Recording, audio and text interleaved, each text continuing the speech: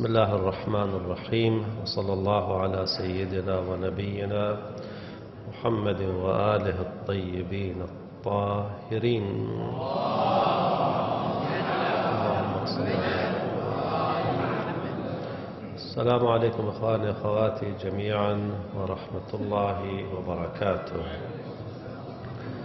نحن عادة نرجو رحمة الله عز وجل وهذا أمر حسن ولا شك فيه أن رحمة الله قريب من المحسنين. ولكن تأملوا في القرآن الكريم كيف ينظر إلى رحمة الله عز وجل. هؤلاء يرجون رحمة الله عز وجل بعد مرحلتين الآية في سورة الزمر. أمن هو قانت آناء الليل ساجدا وقائما يحذر الآخرة ويرجو رحمة ربه. قل هل يستوي الذين يعلمون والذين لا يعلمون. إذا هناك قنوت آناء الليل ساجدا وقائما وثم حذر الآخرة ثم رجاء رحمة الله عز وجل. حديثنا في هذه الفترة القصيرة حول قيام الليل. يبدو أن قيام الليل إخواني الذي لا يريد الدرجات العليا هذا إنسان نعم قنوع وإن كانت القناعة في أمر الآخرة أمر مذموم. الإنسان المؤمن له طمع في الدرجات العليا. الدنيا الذي يعيش في كوخ أو الذي يعيش في قصر أيام قلائل وتنتهي.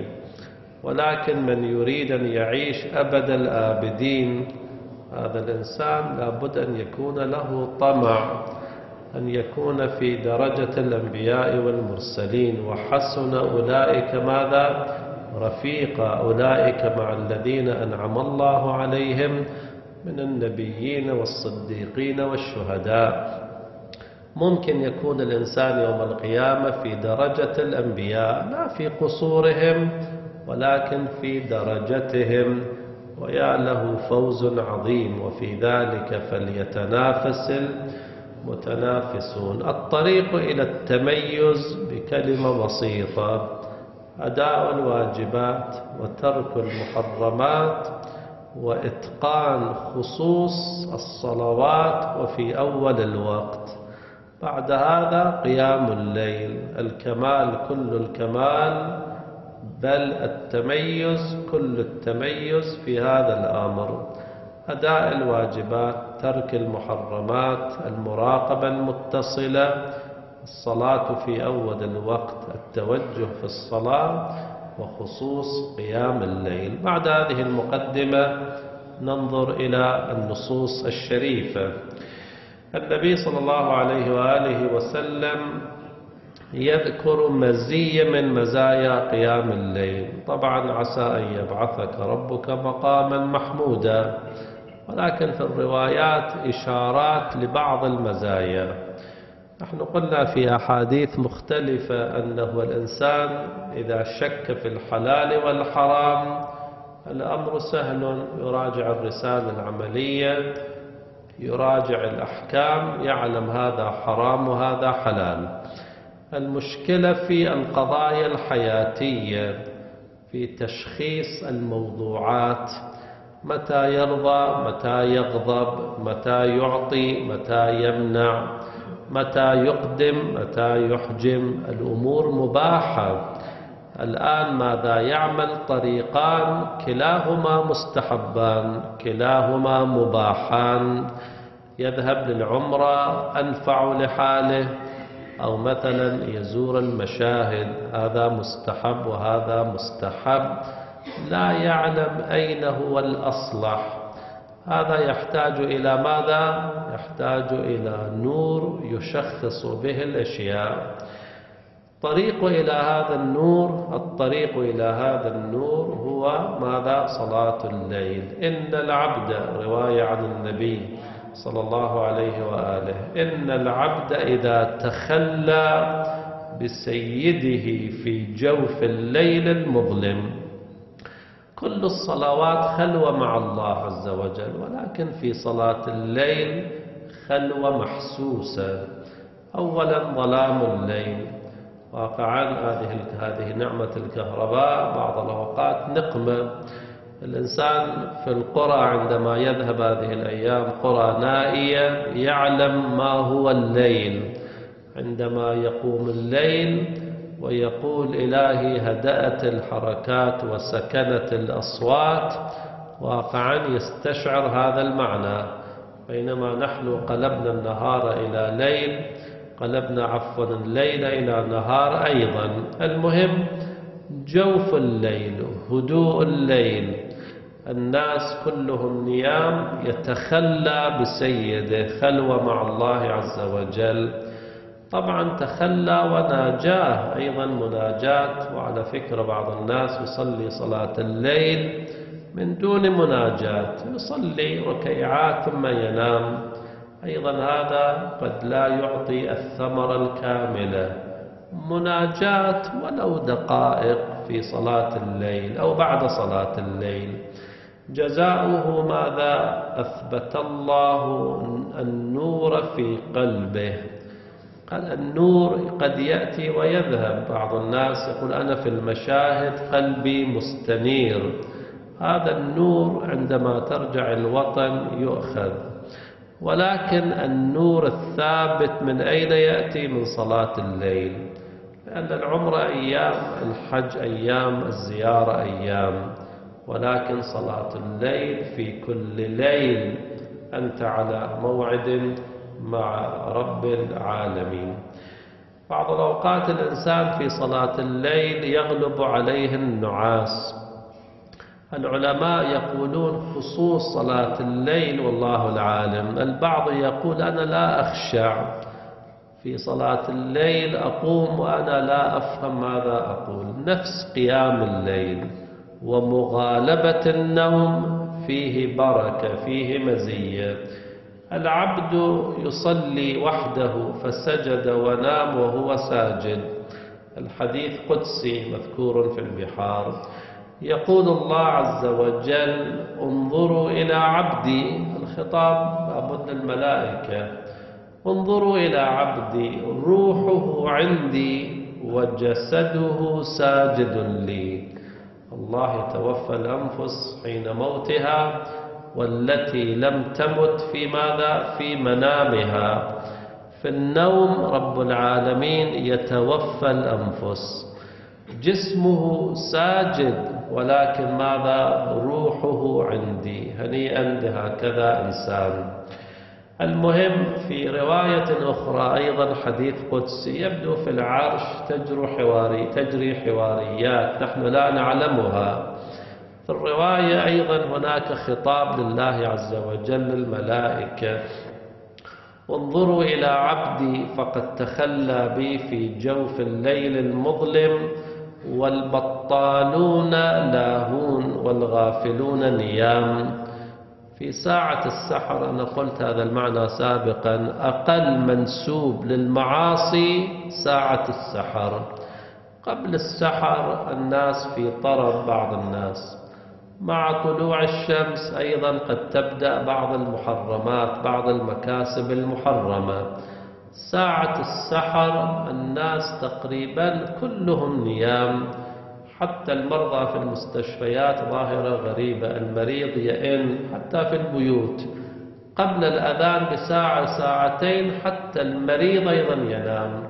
يهدأ مرضه قلم الإنسان يئن حتى الصباح. غريب هذه ساعة الغفلة.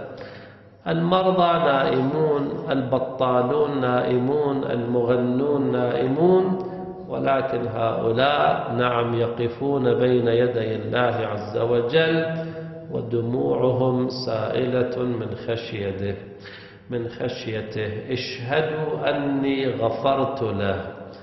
اشهدوا أني غفرت له والله العالم معناه معنى وسيع شامل.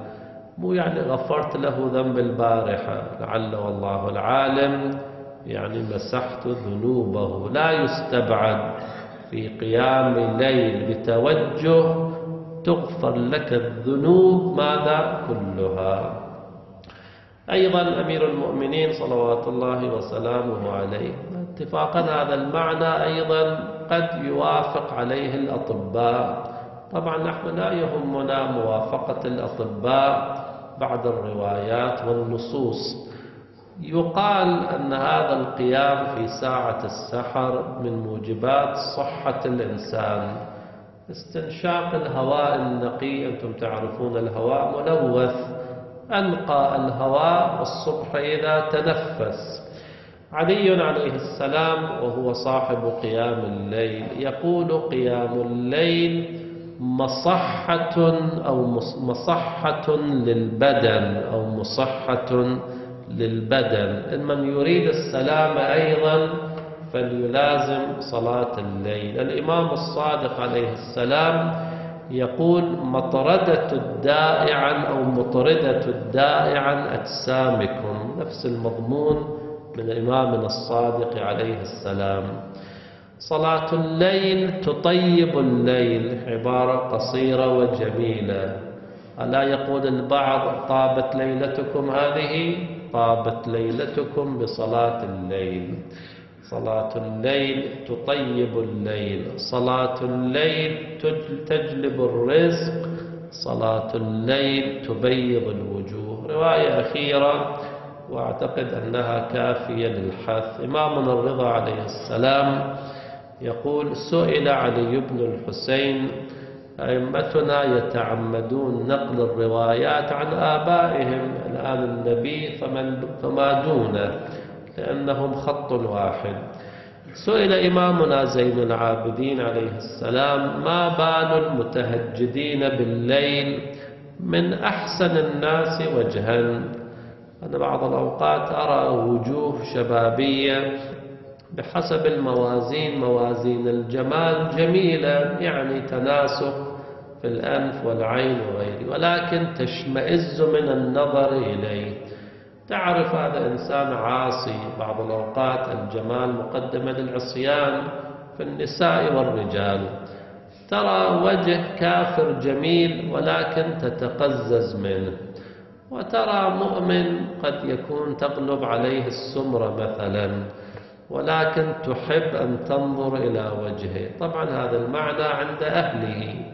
هؤلاء من أحسن الناس وجها. لماذا؟ سئل الإمام السجاد عليه السلام. الإمام قال لأنهم خلوا بالله فكساهم الله من نوره. هذا النور ما جاء جزافا. هذا نور الليل.